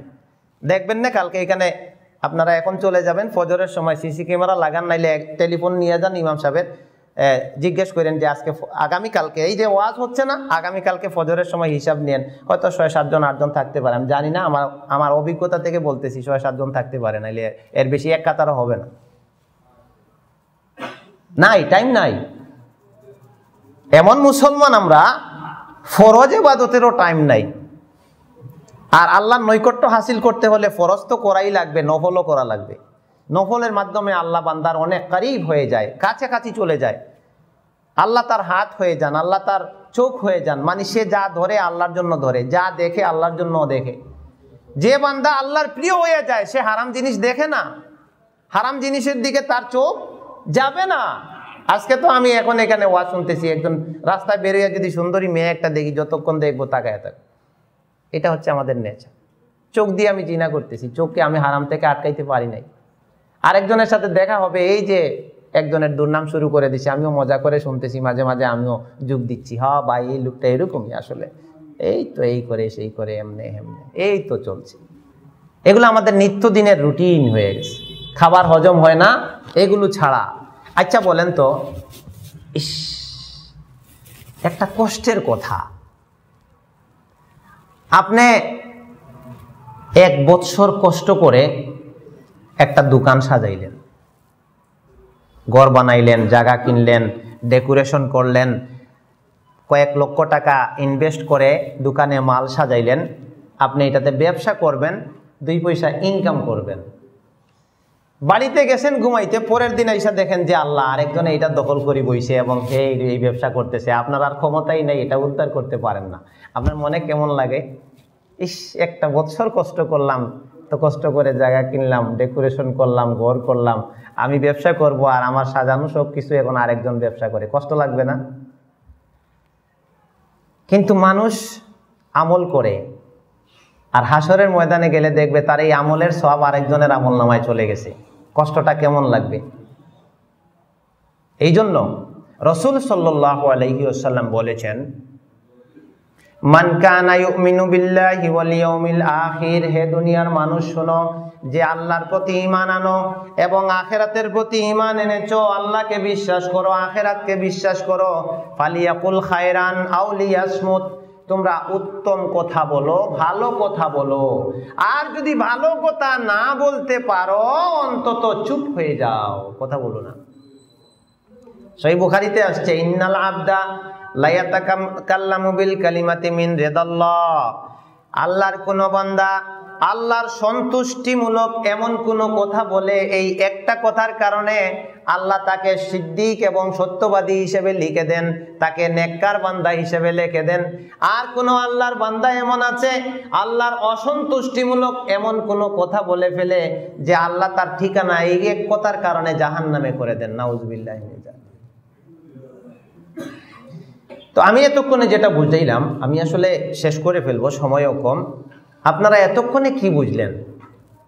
আমি কিসের অনুরোধ করছিলাম? অন্তত একটা আয়াত পড়বেন, একটা হাদিস, দুইটা আয়াত, দুইটা হাদিস, এটা এটা এটা নিজের রুটিনে নিয়ে আসেন। আর বাড়িতে বাড়িতে একটু দিন চর্চার ব্যবস্থা করেন। এই যে এই যে হালাকাটা হচ্ছে, এখানে আমরা কোরআনের কথা, হাদিসের কথা শুনতেছি, একটু ইমান তাজা হচ্ছে না? মুমিনের পরিচয়ই হচ্ছে এটা যে তার সামনে আল্লাহর আয়াত তিলাওয়াত করা হলে তার ইমান কি হয়ে যায়? তাজা হয়ে যায় ইমান বেড়ে যায়। এই এই সিস্টেমগুলো আমাদের পরিবারে দিন চর্চার সিস্টেম থাকতে হবে, নতুবা আমরা বড় বিপদে পড়ে যাব। আমাদের মুসলিম পরিবারগুলো এখন ধ্বংস হয়ে যাচ্ছে। স্বামী স্ত্রীর মধ্যে কলহ, বিবাদ লেগেই আছে। ও ওর কথা সহ্য করতে পারে না, ও ওর কথা সহ্য করতে পারে না। কথায় কথায়, এই তোরে তালাক দিয়ে দিব তো বউ তাহলে তালাক দিয়ে দাও, এখনই দিয়ে দাও। এই চলছে। এরপরে বাচ্চা কাচ্চাগুলো এমনভাবে বড় হচ্ছে, বাবা চলে যায় কাজে কর্মে, মার কথা শুনে না, দেখা যায় কোরআন পড়া জানে না, হাতে রিডিং পড়তে পারে না, নামাজ পড়ে না ঠিক মতো পড়াশোনা করে না ঠিক মতো ম্যাক্সিমাম ফ্যামিলির বাচ্চা কাচ্চাদের দেখবেন প্রায় এই এই একই অবস্থা। আমার আমার বাস্তব অভিজ্ঞতা থেকে বলতেছি, একটা কথা মনে রাখেন, আপনার জরিপ করতে পারবেন। অম্মুলকুরা মাদ্রাসায় আমি মাদ্রাসার পরিচালনা করি সেই হিসেবে তিরিশ, পঁয়ত্রিশ, চল্লিশ জন ছাত্র ভর্তি হয়েছে এবার। তো এই পঁয়ত্রিশ, চল্লিশ জন ছাত্রের কেউ three four five six seven পর্যন্ত ভর্তি হয়েছে। কেউ স্কুল থেকে আপনার, কেউ মাদ্রাসা থেকে পড়ে আসছে। এসে ইয়ে জিপিএ ফাইভ পাইয়া আপনার এই সমাপনী ফাইভের পরীক্ষা দিয়ে আসছে। দুই তিনটা বাচ্চা ছাড়া সবগুলি বাচ্চা একজনও কোরআনটা শুদ্ধ করে পড়তে পারে না। এদেরকে নাজেরা পড়াইতে হয়। আমার একটা জিনিস চিন্তা করলে আমার মাথায় কাজ করে না যে এই প্রজন্ম, আজ থেকে পনেরো বিশ বছর পরে এই প্রজন্ম যখন দুনিয়া লিড করবে, এখন যারা আছে কিছুটা হলেও তাদের কোরআন শুদ্ধ হয় বা পড়তে পারে। কিন্তু এখন যে জেনারেশন আসতেছে, এরা যখন এই দুনিয়া আবাদ করবে, তখন ওই হাদিসটা আল্লাহ নবীর প্রযোজ্য হয়ে যাবে যে একটা জমানা আসবে, মসজিদ চাকচিক্য হবে, মুসল্লি ভর্তি মসজিদ মসজিদে সালাত আদায় করবে, নামাজ পড়বে একজনও ইমানদার থাকবে না। ওর সালাত হবে না তোর ও সুরা জানে না, দেখবেন ওর সুরা জানে না, ও সুরাটা জানে না। একদিন আমি এই আমার গ্রামে এক মসজিদে নামাজ পড়লাম আসরের। তা আমি ইমাম হতে চাইছিলাম না, তারপর কেউ নাই দেখে ইমাম হয়ে গেলাম। এখন দেখি তো ফরজ নামাজের পরে তো এখন সবাই মুনাজাত করতে হবে। তো আমি একটু ভিন্ন কৌশল করলাম। মুনাজাত না করে কৌশল করলাম যে আচ্ছা আমি একটা হাদিস বলি, শুনবেন, বলে হ্যাঁ কি হাদিস? যে আল্লাহ রসুল সাল্লাহ আলহিউসাল্লাম বলেছেন, যে মানুষটা প্রত্যেক ফরজ সালাতের সালাম ফিরানোর পরে, ফরজ সালাতের পরে আয়াতুল কুরসিটা একবার পড়বে আহমিন ইল্লাল মৌত মৃত্যু ছাড়া তার জান্নাতে যাওয়াতে আর কোনো বাধা থাকে না। সুবহান আল্লাহ কি বুঝলেন? মৃত্যু ছাড়া জান্নাতে যাওয়াতে তার আর কোনো বাধা থাকে না। বুঝছেন তো হাদিসটা? তো আমি এই হাদিসটা শোনাইয়া বললাম, পাঁচ সাতজন মুসল্লি যারা ছিল, একদিক থেকে ধরলাম আচ্ছা তুমি বলো তো আয়াতুল কুরসিটা। একজন, দুই তিনজন ছিল একটু ছাত্র, ছাত্রের মতো মাদ্রাসায় পড়ে। ওই দুইজন মনে হয় বলতে পারল। আর দুই তিনজন একটু একটু বলল, পুরাটা শেষ করতে পারেনি বা ভুল বলল। আর কয়েকজনকে এমন পেলাম যে বয়স ষাট থেকে সত্তরের নিচে হবে না, পুরা দাড়ি পেকে গেছে, কয়েকদিন পরেই কবরে যাওয়ার পালা। আবার পাক্কা নামাজি পাঁচক তো পাক্কা নামাজি। তাকবিরে উলা মনে হয় খুব কমই ছুটে। বললাম, মুরব্বী, আপনি বলেন তো আয়াতুল কুরসিটা? আল্লাহ বলেন, না, এটা তো মুখস্ত করি নাই বাবা। এটা তো শিখি নাই। অথচ সালাম ফিরানোর পরে ইয়া লম্বা তাসবির সরা বের করে তাসবি টানতে টানতে টানতে টানতে একবারে হেরান। পকেট থেকে সালাম ফিরাইতে দেরি, তাসবি বের করতে দেরি নাই এই আল্লাহর বান্দার কিন্তু আয়াতুল কুরসিটা বলেন, যেটা পড়লে আল্লাহ নবী বলছেন, জান্নাতে চলে যাবেন মরণের লগে লগে, এটা তো পারি না। এই হয়ে গেছে আমাদের অবস্থা। ওয়াশ কোন জায়গায় করবেন? সব জায়গায় আপনার রুগে ধরছে। এখন চিকিৎসা করবেন কোন জায়গায়? সব জায়গায় গোলমাল। কারণটা কি জানেন? আমরা আসলগুলা বাদ দিয়ে নকলগুলা নিয়ে ব্যস্ত। ওয়াজের মাহফিলে মানুষ দিন শিখবে। এখন তো বক্তা ওয়াজে উঠে আপনার ভূমিকা বলতে বলতে আর বালাগাল উলাবি ইয়ানবী সালাম আলাইকা, আর নারায় তাকবীরের স্লোগান এইগুলো দিতে দিতেই তো আপনার বিশ মিনিট, আধা ঘণ্টা শেষ। মানুষ কি শিখব? এরপরে ওই কিছু অমুক বুজুর্গের ঘটনা, কিছু অমুক বুজুর্গের ঘটনা, কিছু বাঘের ঘটনা, কিছু সাপের ঘটনা, এমনে হেমনে দিয়ে দেড় ঘণ্টা পার। মানুষ যাওয়ার সময়, ও বা কিছু শিখছো না? নিয়ে যাওয়ার তো কিচ্ছু নাই। আমিও খালি বক্তাও চলে গেছেন, কিচ্ছু নাই। বাড়িতে নিয়ে যাওয়ার কিছু নাই। রিয়াল অর্থে শিকার কিছু নাই। এক বর্তমান সময়ে যদি আপনি জরিপ করেন, শতকরা নব্বই জন মানুষের আপনার সলাটটাই সুন্দর হচ্ছে না, সহি সুন্না মতো সঠিক কিরাতে হচ্ছে না, আপনি জরিপ করলে পাবেন। এই মসজিদে আপনারা আছেন, আমি আপনাদেরকে অন্তর থেকে ভালোবাসি, আমি একদম দায়ী মানুষ, আমরা সবাইকে মায়ার নজরে দেখি। আমাকে যে যেভাবে দেখো ওটাতে আমার কিছু যায় আসে না। কিন্তু আমি এটা নিশ্চিন্তে বলতে পারব, আপনারা এখানে যারা আছেন, দেখবেন যে অনেকের সুরা ফাতেহায় ভুল আছে। অনেকের আত্মাহিয়াতুটা শুদ্ধ না। অনেকের আল্লাহ উম্মাইনি জলামতুটা শুদ্ধ না। অনেকের সুরা এখলাস কুল হু আল্লাহ আহাদ, কেউ পড়ে কুল ফু আল্লাহ আহাদ। বলতে হবে আলহামদুলিল্লাহ রব্বিল আলমিন। অনেকে দেখবেন বলবে আলহামদুলিল্লাহ রব্বিল আলমিন। রব্বিল আলমিনের জায়গায় বলবে রব্বিল আলম অভাব নাই। এই জাতি যাচ্ছে কোন দিকে? যাবে কোন দিকে? এখন এই জন্য প্রথম যেটা দরকার, আমাদের ইমানিয়াত এর বিষয়গুলো জানা দরকার শির বিষয়গুলো জেনে সেগুলো থেকে দূরে থাকা দরকার, আর বেদাঁতগুলো চিহ্নিত করে এইগুলো থেকে বেঁচে থাকা ফরজ হয়ে গেছে। না জানলে হবে না। ওই যে বলবে, ভাই, দেখেন আরেকটা মজার জিনিস হচ্ছে, একটু খেয়াল করবেন, একজন মানুষ একটা কাজ করে বা একটা একটা জিনিস সে আমল করে, এবাদত মনে করে করে। আপনি বললেন যে, ভাই, এই কাজটা আপনি করেন, এটা তো আসলে ইসলামে নাই, এটা সুন্নার মধ্যে নাই। তো সে কি বলবে জানেন? এইটা যে নবী নিষেধ করছে, এইটা তুমি আমারে দেখাও। আমাকে বলছে আমাকে বলছে, অনেক বড় বড় মুরব্বী। একবারে মানে মাদ্রাসায়ও পড়ছে অনেক বড় বড় মানুষ। আপনার পাক্কা নামাজি, পাক্কা আপনার আল্লাহকে মেনে চলার চেষ্টা করে। যে এই আমলটা করো না, এটা নাই, এর বিপরীতে এই আমলটা শোন না এটা করো। বলবে এইটা এটা যে নাই, এটা তুমি কই পেয়েছ, এটা আমারে দেখাও। এইভাবে বলবে। এখন যদি ওনাকে জিজ্ঞেস করেন যে, ভাই, বেদাত সম্পর্কে পড়ছেন কিছু? শির সম্পর্কে পড়াশোনা করছেন কোনো বই? তখন বলবে যে না। মাসলা মাসাইলের কিছু বই পড়ছি। আমি এখন যদি প্রশ্ন করি, আপনারা এখানে যতজন আছেন, যে বেদাতের উপরে লেখা, শির্কের উপরে লেখা, সুন্নতের উপরে লেখা কয়জনের ঘরে বই আছে? হয়তো কয়েকজন হাত তুলতে পারেন, অধিকাংশই দেখবেন যে না, আমি এই বিষয়ে কোনো বই পড়িনি। তো আপনি বেদাত চিনবেন কি করে? কথাটা বুঝছেন নি তো শির চিনবেন কি করে? শির করলে ইমান শেষ, বেদাত করলে আমল শেষ। কীভাবে আমি চিনতে পারব? উপায় নাই তো, চিনার উপায় নাই তো। এই জন্য এগুলো ঠিক করতে হবে, আর যে আমলগুলো আমরা করব করব, এগুলো সুন্দরভাবে সহি শুদ্ধভাবে করার চেষ্টা করতে হবে। আমাদের সুরা কিরাতগুলি শুদ্ধ করা লাগবে। আমার সুরা ফাতেহা ঠিক আছে কিনা? তারপরে আরেকটা কথা হলো, আমি যে দুই রেখাত সলাত আদায় করলাম। প্রথমে কি বললাম? আল্লাহ আকবার দিয়ে শুরু করলাম। মুরব্বী, আপনাকে একটু কষ্ট দেই, বলেন তো, আল্লাহু আকবার যে আপনি বলছেন না নামাজ পড়তে অনেক দিন বলেন নাই?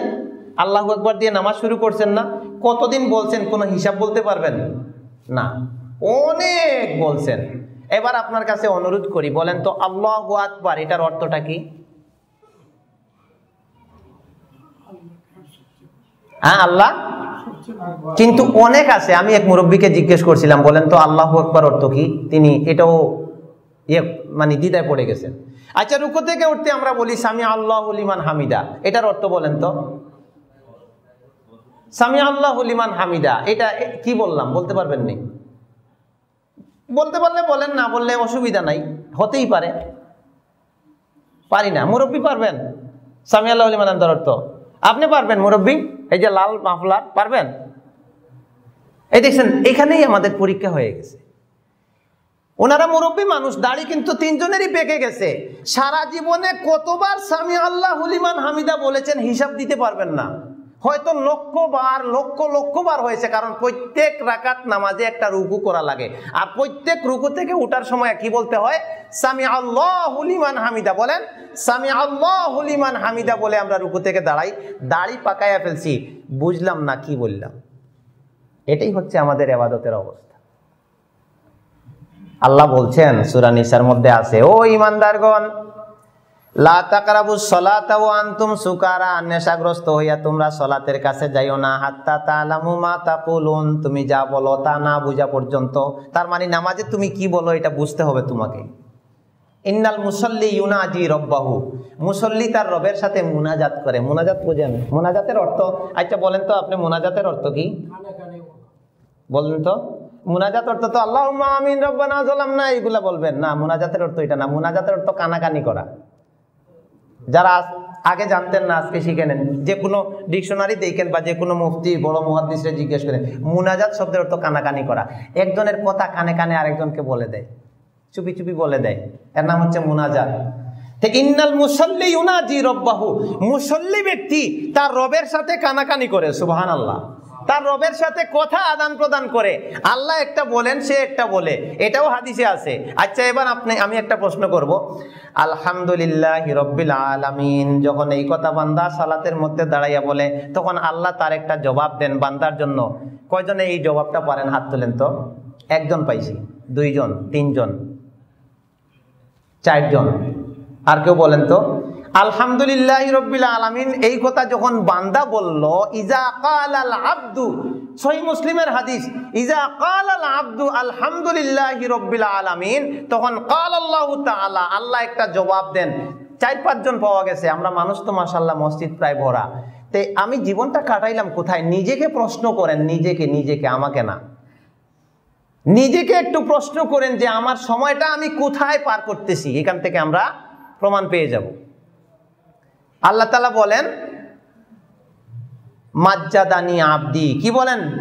বলেন তো আমার সাথে মাজ্জাদানি হামিদানি আবদি। আলহামদুলিল্লাহ রব্বিল আলমিন যখন আল্লাহর বান্দা বলে তখন আল্লাহ বলেন, হামি আলহামদুলিল্লাহ রব্বিল আলমিন বলার পরে আল্লাহ বলেন, হামিদানি আব্দি, আমার বান্দা আমার প্রশংসা করল। সুবহান ইজা কালা আর রহমানির রহিম। আর রহমানির রহিম যখন বান্দা বলে, তখন আল্লাহ বলেন, মাজ্জাদানি আব্দি, আমার বান্দা আমার গুণগান করেছে। এইভাবে মালিক ইয়ৌমিদ্দিন ইয়া কানাবুদু যত আয়াত পড়ে, আল্লাহ এক একটা জবাব দিয়ে থাকেন। এই জন্য সলাতের বিষয়টা আমরা নামাজের মধ্যে যে জিনিসগুলি পড়ি, অন্তত দৈনন্দিন যেটা নিত্য পড়াই লাগবে, সেই জিনিসগুলির আমাদের কি করা লাগবে? অর্থ বুঝে আল্লাহর ধ্যানে, খেয়ালে নামাজ পড়াটা আমাদের জন্য কি? অতীব জরুরি অতীব জরুরি। আমরা তো এমন নামাজি, খালি নামাজে গেলাম, আল্লাহ আকবর আল্লাহ আকবর। মানে উঠ বইস দিতে থাকলাম আর স্বামী আল্লাহ আলিমান হামিদা রব্বান আল্লাহ কালাম এরপরে খালি একটার পর একটা দিতেই আসি, সালাম ফিরে শেষ করে দিলাম। না, নামাজ বা সলাদটা হচ্ছে আল্লাহর সাথে বান্দার সম্পর্ক জুড়ে দেওয়ার একটা অস্ত্র। সম্মানিত মুসল্লিয়ান কেরাম, কি বললাম? সালাদটা কি? আল্লাহর সাথে বান্দার সম্পর্ক জুড়ে দেওয়ার কি? একটা অস্ত্র। সনাতন শব্দের শাব্দিক অর্থই হচ্ছে এটা। শিলাতন সম্পর্ক জড়াইয়া দেয়। বান্দা যতক্ষণ সালাতে দাঁড়া থাকে, ততক্ষণ সে আল্লাহর সাথে কথোপকথন করে, আল্লাহর কাছে চায়, আল্লাহর জবাব সে শুনে। এই জন্য আমরা অন্তত দুই রেখাত সলাদ যদি কোনো মানুষ বুঝে পড়তে পারে, তার আলা বিজিক্রিল্লাহি তাতমা ইন্নুল কুলুব। আল্লাহ বলছেন, আল্লাহর স্মরণে অন্তর প্রশান্তি লাভ করে। অন্তর কীভাবে প্রশান্তি লাভ করে? বলেন, অন্তর কীভাবে প্রশান্তি লাভ করে? হ্যাঁ আল্লাহর স্মরণে অন্তর প্রশান্তি লাভ করে। আর আল্লাহ সুবাহ বলছেন আকিমি সলাত আলী জিক্রি তুমি বুঝে বুঝে আমার শরণার্থে তুমি সালাত আদায় করো। কত সুন্দর কথাগুলি বলি। আচ্ছা আল্লাহ একবার বলার পর, তাকবিরে তাহারিমা বলার পর আমরা সানা পড়ি না? সানা বুঝেন তো সানা, আল্লাহর প্রশংসা। তো সানার মধ্যে আপনি কি পড়েন বলেন তো? নামাজে দাঁড়াইয়া আল্লাহ একবার বলার পর কি পড়েন বলেন তো? সানা পারেন না? সুবাহ না ইন্নিওজাতু এটা তো হইল আচ্ছা পড়লে পড়তে পারেন। ইন্নিওজাতু আগে, হাত পাতার আগে পড়েন না পড়ে পড়েন? আল্লাহ একবার বলার আগে ইন্নিওজাতু পড়েন মনে, প্রথমে যাইয়া? নামাজের পরে আচ্ছা। ইন্নি ওয়াজ্জাহতু ওয়াজহিয়ালিল্লাযী ফাতারাস সামাত এটা সানা হিসেবে পড়া যাবে। এটা ঠিক আছে আপনার। এটা একটা সানা, এটা লম্বা একটা সানা রসুলাম তাহার যদি পড়তেন, এটা একটু লম্বা আছে, এটা পড়তে পারেন। আরেকটা সানা আছে না, আমরা পড়ি, সুবহানাকা, আল্লাহুম্মা বিহামদিকা তাবারাকা ওয়া ওয়া তাআলা জাদ্দুকা, ওয়া লা ইলাহা গায়রুকা এটা একটা। আরেকটা আছে, আল্লাহুম্মা বাইদ বাইনি, ওয়া বাইনা খাতওয়াইয়া আচ্ছা আচ্ছা এই সানাটা পারেন কয়জন একটু হাত তোলেন তো? আল্লাহুম্মা বাইদ বাইনি, ওয়া বাইনা খাতওয়াইয়া শরম নাই, হাত তোলেন, অসুবিধা নেই। একজন, দুইজন, তিনজন, চারজন, পাঁচজন। ছয়জন মুরব্বী, এই সানাটা পারেন। আল্লাহম্মা বাইদ বাই নিও বাইনা খাতয়া পারেননি? আপনি শিখছেন নি তো এখন এগুলা সহজ। বই পুস্তক আছে শিখেই নিবেন। দেখেন, একবার আবু হুরার আনহু রসুল সাল্লাহ ইসলামকে বলতেছেন যে রসুল আল্লাহ আপনি আল্লাহ একবার বলার পরে কতক্ষণ চুপ থাকেন? আপনি কি করেন? তখন রসুল সাল্লাহ আলাইসাল্লাম বললেন যে, আমি এই সময় একটা দোয়া পড়ি। কি দোয়াটা? তা আমি বলি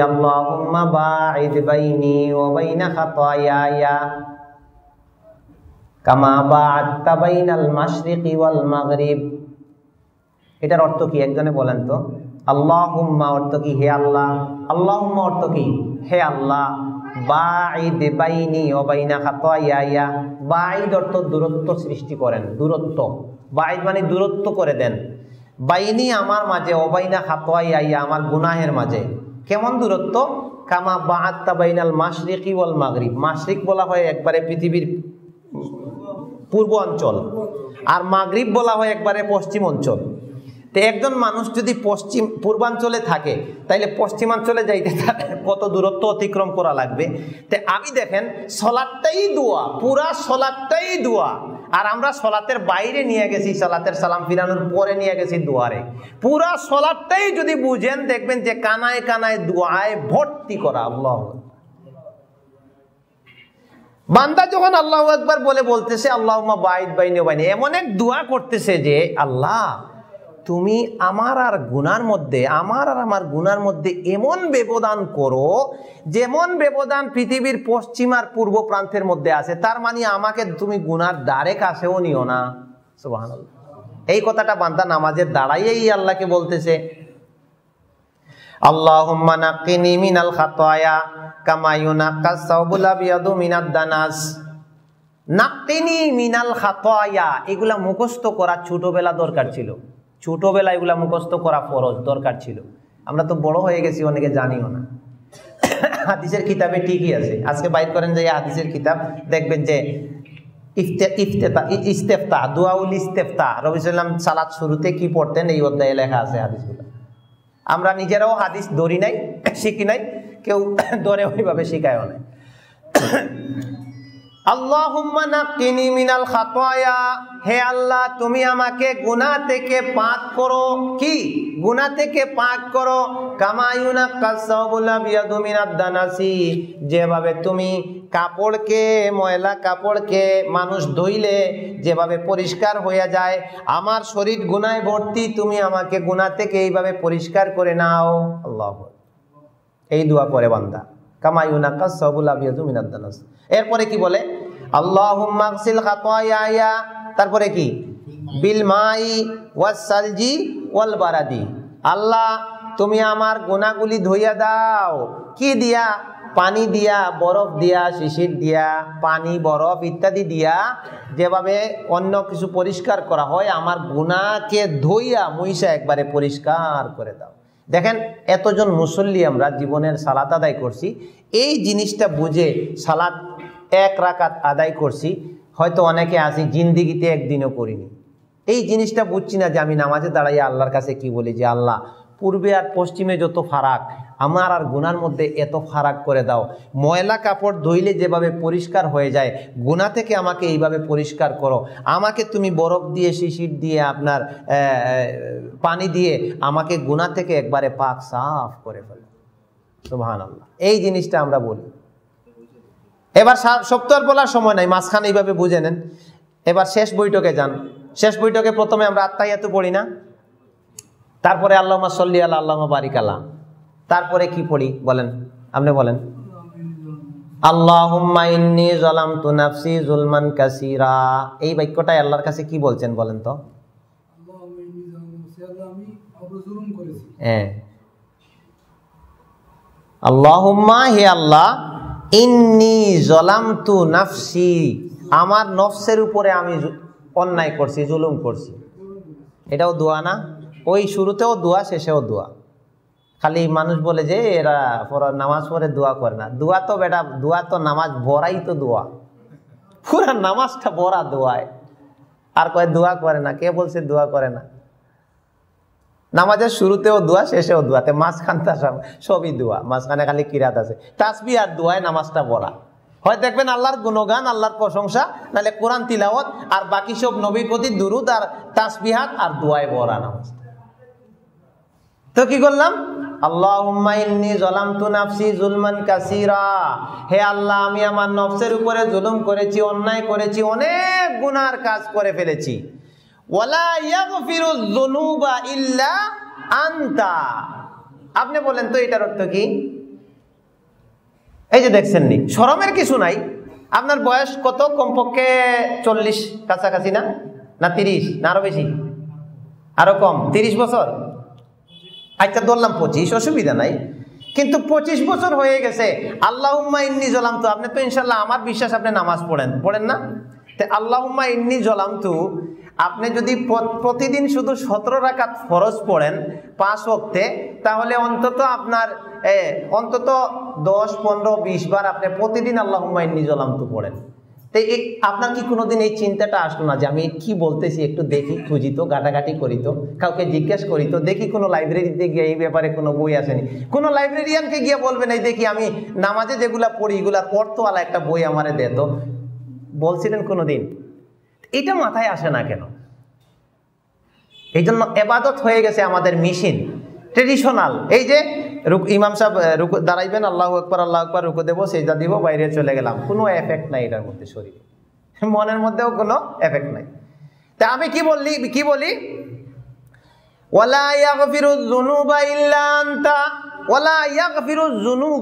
আর গুনা ক্ষমা করে না কেউ।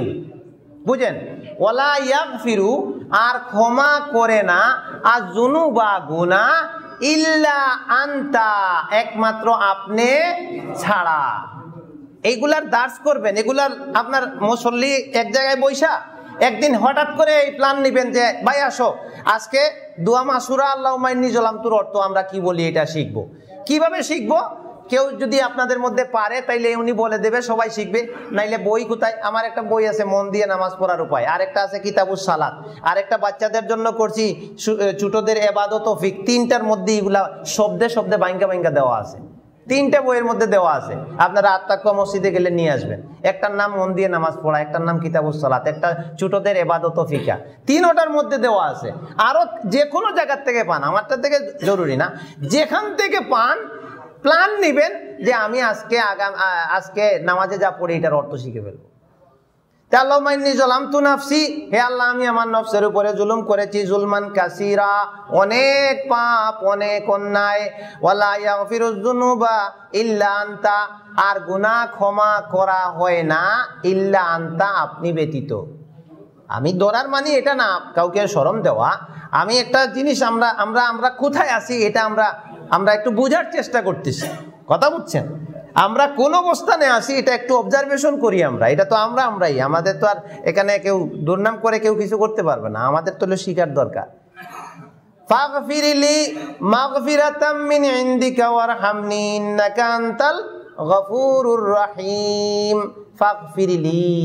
আল্লাহ আমাকে ক্ষমা করে দেন।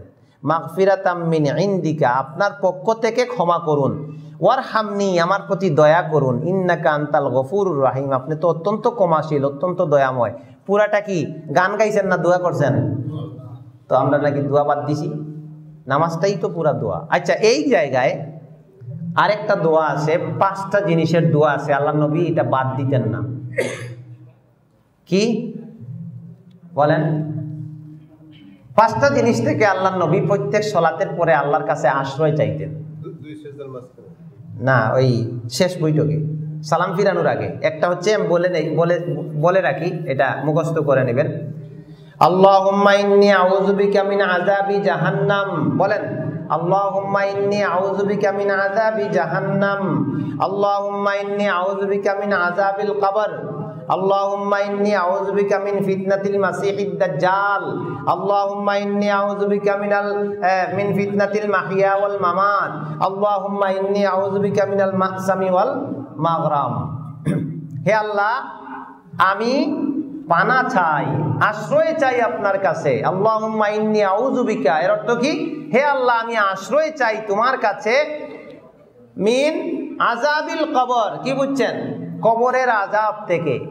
হে আল্লাহ, আমি তোমার কাছে কবরের আজাব থেকে আশ্রয় চাই।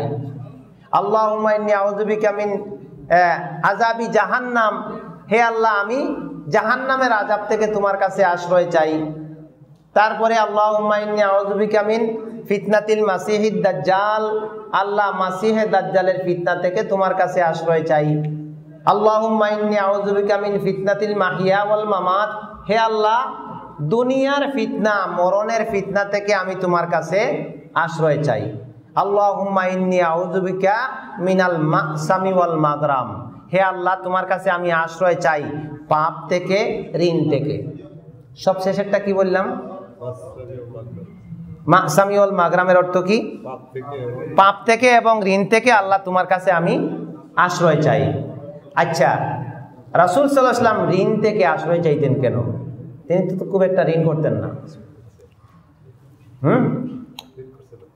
এই দোয়াটা যখন নবী ইসলাম সব সময় করতেন, একটু খেয়াল করেন, এই দোয়াটা নবী ইসলাম যখন করতেন সব সময়, তখন কিছু সাহাবি প্রশ্ন করতেন যে, আল্লাহ রসুল, আপনি তো আর এত ঋণ করেন না, তা আপনি সব সময় ঋণ থেকে আল্লাহর কাছে আশ্রয় চান, পানা চান কেন? তো রসুল সাল্লাহ ইসলাম বললেন মানুষ যখন ঋণগ্রস্ত হয়ে যায়, খেয়াল করবেন, মানুষ যখন ঋণগ্রস্ত হয়ে যায়, তখন দুইটা বিপদে পড়ে সে। একটা বিপদ হলো তার অনেক সময় ঋণ দিতে পারে না, মিথ্যা কথা বলা লাগে। গুড়াইয়া ফেসাইয়া মিথ্যা বইলা বাঁচতে চায়।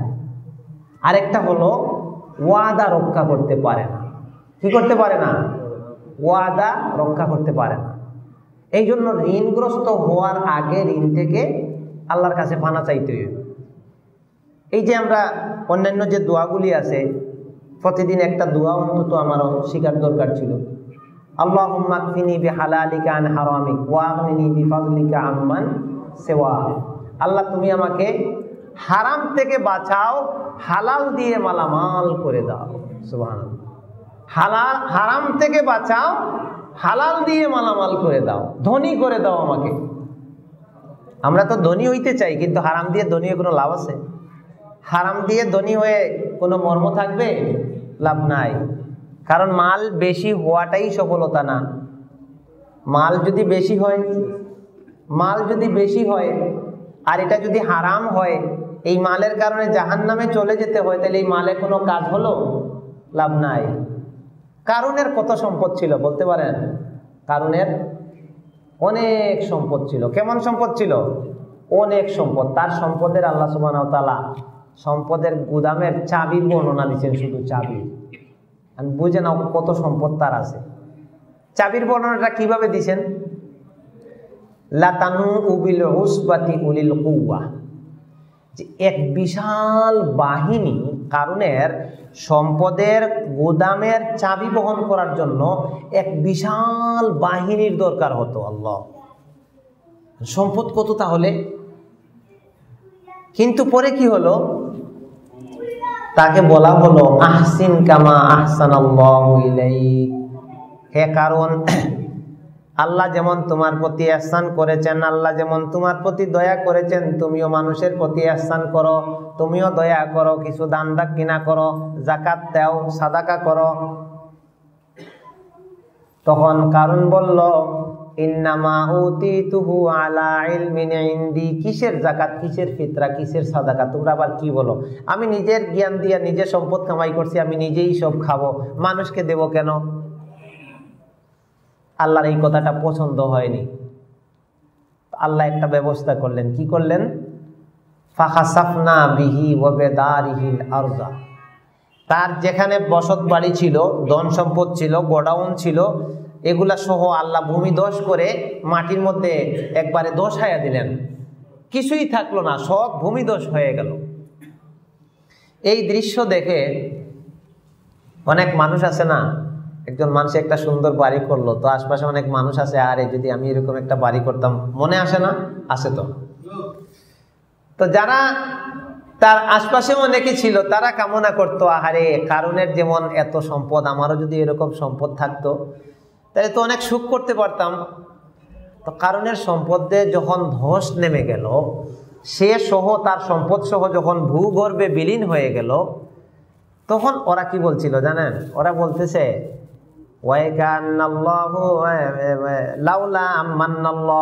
আহারে, যদি আল্লাহ আমাদেরকে না রক্ষা করতেন, দয়া যদি না করতেন, আল্লাহ যদি বিপদ না বাঁচাইতেন তাহলে লাখা সাফা বিনা বিনা। যদি আল্লাহ দয়া না করতেন, তাইলে আমরাও বিলীন হইয়া যেতাম কারণের লগে। আল্লাহ। তারা কিন্তু বেঁচে গেছে। তো শেষে কি বলতেছে? যে এই কারণের মতো সম্পদ না পাওয়াতে আমাদের ভালো হয়েছে, আমরা না পাইয়া বেঁচে গেছি। তো এই জন্য সম্পদ কম থাকলে মন খারাপ করার কিছু নাই। অনেক সময় সম্পদ মানুষকে জাহান নামে নিয়ে যায়। আল্লাহ রসুল সাল্লাম বলেছেন, ধন ধন হচ্ছে যে মনের দিক থেকে ধনী। আল গেনা গেনা নফস, যে মনের দিক থেকে ধনী, সেই আসল ধনী। আল কানাআত অনেক সাহাবাদের জীবনী ছিল এরকম। অনেক নবী রসুলদের জীবনী ছিল এরকম যে সকালের ব্যবস্থা করলে বিকাল নিয়ে টেনশন করতেন না। আর একদিনের খাবারের ব্যবস্থা হয়ে গেলে তার কথাই নেই। ধনী। একদিনের খাবারের ব্যবস্থা হয়ে গেলে ধনী। আর আমাদের অবস্থা হচ্ছে এক মাসের আছে তারপরেও পেরেশান নিস্তার নাই। এক মাসের না অনেকের দুই- মাস, ছয় মাসেরও আছে। এক বছরেরও খাবার করে আছে। তারপরেও আল্লাহকে একটু সময় দেই, একটু দুইটা সিজদা আল্লাহকে বাড়াইয়া করি, দুই, চার রেখাত সালাত একটু বেশি করে আদায় করি, এই সময়টা আমাদের হয় না। তো এই জন্য যাক, অনেক সময় আপনাদের থেকে একটু বেশি সময় নিয়ে নিলাম। তো আমি মূলত যে জিনিসটা বুঝাইতে চাইছিলাম যে আমরা আসলে আমাদের যে মৌলিক যে জিনিসগুলা দরকার আমরা যে এবাদত বন্দেগিগুলা করি, এই এবাদতগুলি বুঝে বুঝে পালন করা দরকার। আমরা যে দোয়াগুলি পড়ি, আমরা যে কিরাতগুলি পড়ি, এগুলো আমাদের শুদ্ধ করা দরকার। আর যেটা করা লাগবে, আমাদের লোভ লালসাকে দমিয়ে, লোভ লালসাকে ত্যাগ করে আমরা অল্পতে তুষ্টি। কি বললাম? অল্পতে সন্তুষ্ট থাকার অভ্যাস গড়ে তোলা দরকার। রসুল সাল্লাহ ইসলাম দোয়া করতেন। এদিকে চলে আসেন। রসুল ইসলাম কানাতের দোয়া করতেন। আল্লাহুম্মারজুক আলা মুহাম্মাদিন কাফাফান। এই দোয়াটার অর্থ জানেননি? যে রসুল সাল্লাম দোয়া করতেন যে, আল্লাহ, তুমি মুহাম্মদের পরিবারকে প্রয়োজন পরিমাণ রিজিক দাও। বেশিরও দরকার নাই, আর না খেয়ে থাকব এমনও না। প্রয়োজন পরিমাণ রিজিক তুমি দান করো। এই জন্য আমি সব শেষে যেটা বলব যে আমরা বৈধভাবে চেষ্টা করব, হালাল উপায়ে রুজির চেষ্টা করব, আল্লাহ সুবাহ তাল্লাহ যা কিছু দেন, তাকদিরে যা বরাদ্দ রাখেন, এটার উপরে সন্তুষ্ট থেকে হাহুতাস বাদ দিয়ে আল্লাহর আনুগত্যের দিকে যাওয়া, আল্লাহর নৈকট্য হাসিলের দিকে যাওয়া, আল্লাহর মহব্বত অর্জনের দিকে যাওয়া, এবাদতের লিপ্ত হওয়া, এটা আমাদের দায়িত্ব। আল্লাহ সুবাহ তাল্লাহ আমাদেরকে এই আশা বসাকে কবুল করুন। আমরা যা কিছু শুনলাম এখান থেকে যে ভালো কথাগুলির উপরে আমাদের সবাইকে আমল করার তৌফিক করুন। বোধ ত্রুটি হয়ে গেলে আল্লাহ সুবাহ তালা আমাদেরকে ক্ষমা করুন। আলহামদুলিল্লাহ আলমিন। সুবাহ